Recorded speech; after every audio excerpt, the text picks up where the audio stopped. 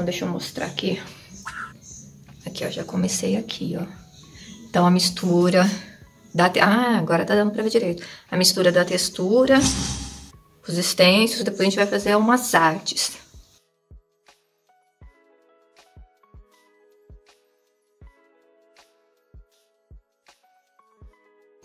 Então, agora vamos para esta parede aqui. Oh, caramba, como a luz tá refletindo lá de fora, pode atrapalhar um pouco. Mas, enfim, é isso aqui que vamos trabalhar. Eu vou começar com aqui, ó, massa corrida, onde eu vou fazer ela no rolo.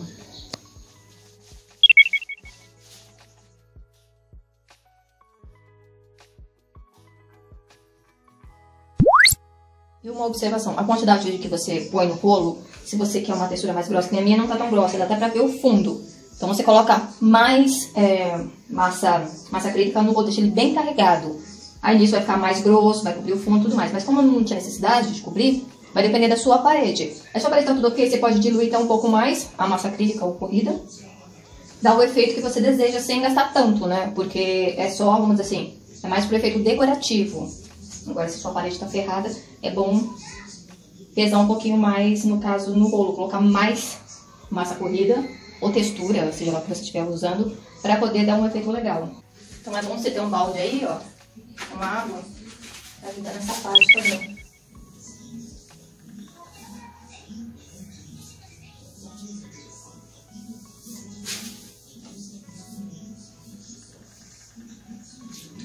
Não precisa apertar muito, tá?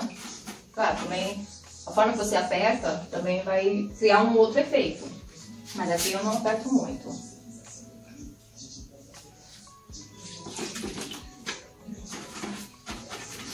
Depois que tiver um pouquinho mais seco, eu volto passando ele, não precisa estar encharcado.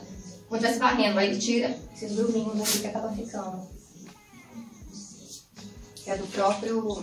da própria brocha, tá escrito o nome aqui, é brocha. Tive uma dúvida do nome. Então, conforme eu passei nessa parte, eu fui deixando secar e eu volto e vou passando. Se for uma parede muito grande, aí não deixa muito tempo não, então depois não vai dar muito efeito. Eu acabei de passar aqui.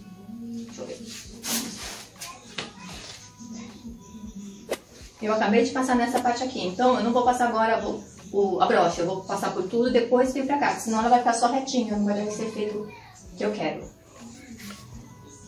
Eu acho que não deu pra ver nada, né? Com essa luz.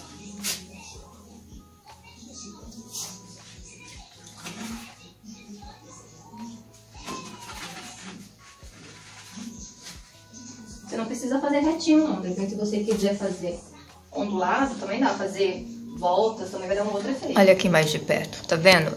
Eu passo a massa corrida, quer dizer, a massa acrílica aqui no caso.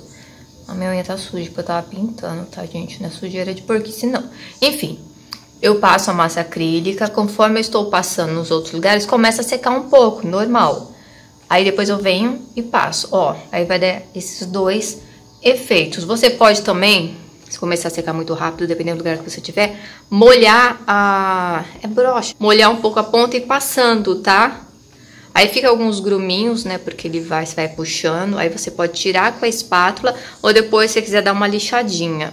Que em alguns lugares estou vendo. Eu vou ver se eu tiro já agora, enquanto tá ainda mole a massa. Alguns eu vou deixar. Depois, dependendo como for, eu tiro na, na lixinha. Mas é lógico eu vou evitar qualquer coisa que lixe. Ó, esse aqui que é maior assim, eu vou tirar. Eu não vou passar nada pra alisar, eu só vou vir com ela pra fazer o efeito, tá?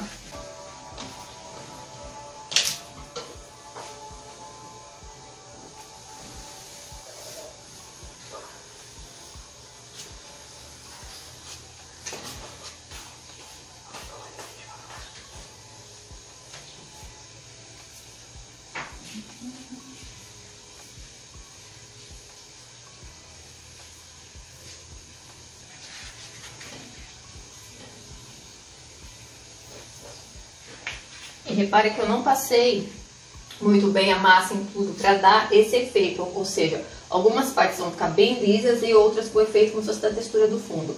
Depois isso daqui a gente passando de novo, ele vai soltando, tá? Agora se você quiser o efeito só da trilha,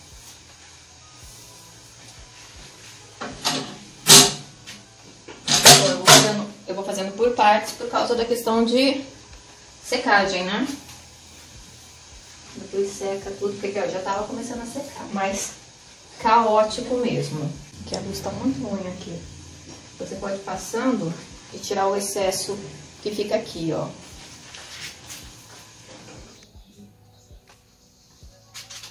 Deixa eu ver se assim dá pra ver. Ah, agora sim, ó. Então ficam dois efeitos. Opa, tá dando um negócio aqui. Na luz. Então vou esperar agora secar. Nossa, que horror, gente. Nossa, ficou muito escuro. Então agora eu vou esperar secar. Bem, ver se tá tudo ok. Vou passar com a própria brocha para tirar uns... com a lâmpada aqui. Para tirar o... as partes ficarem mais altinhas. Mas eu vi que também passando com a mão, assim, sabe? Com a luva. Você também consegue tirar. É só os gruminhos que ficaram mais altos. É que eu tô evitando qualquer coisa que tenha que lixar. A intenção de fazer essa textura é pra isso. De repente sua parede não tá tão legal assim, mas você não quer fazer aquele negocinho retinho, porque senão você vai ter que fazer o quê? Lixar, que é a parte mais chata. Então essa textura Bom, então agora eu vou trabalhar com os extensos, tá? Vou usar a massa mesmo, massa acrílica, porque aqui é interior, dentro da casa, né, não é área externa, então dá pra usar. Então eu comecei com esse arabesco, mas vou colocar, fazer uma mistureba aqui com o que eu tenho. E eu já tenho um vídeo falando sobre isso, vou deixar aqui em cima, opa, aqui em cima nos cards, que eu fiz na parte externa usando argamassa. Então deixa eu mostrar aqui. Aqui, ó, já comecei aqui, ó. Então a mistura da... Ah, agora tá dando pra ver direito. A mistura da textura os extensos, depois a gente vai fazer umas artes. Então, bora continuar.